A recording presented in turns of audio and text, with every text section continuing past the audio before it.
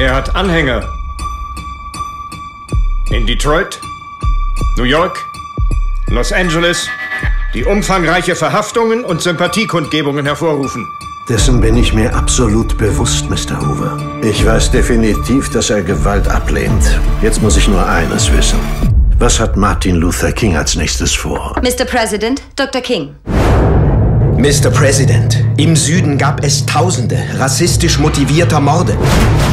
Wir brauchen Ihre Hilfe. Dr. King, diese Angelegenheit muss warten. Sie kann nicht warten. Sie haben ein Problem, ich habe ein Hundert. Auf nach Selma. Dr. King! Wir werden auf gar keinen Fall dulden, dass Unruhestifter Aufstände in diesem Staat anzetteln. Es ist inakzeptabel, dass sie ihre Macht missbrauchen und dass wir ohne Stimme bleiben. Alle, die von uns gegangen sind, sagen. Wenn Sie glauben, dass alle Menschen gleich geschaffen sind, dann schließen Sie sich unserem Marsch gegen Ungerechtigkeit an. Diese Leute sagen, sie wollen unsere Kinder umbringen. Sie versuchen, dich einzuschüchtern. Wenn Sie mit diesen Leuten durch Alabama marschieren, ist die Jagdsaison eröffnet. Darf ich was sagen? Hier gibt es nichts zu sagen. Wir müssen marschieren. Wir müssen uns erheben. 70 Millionen Menschen sehen zu.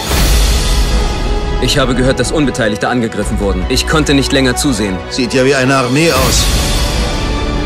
Wir marschieren für unsere Rechte.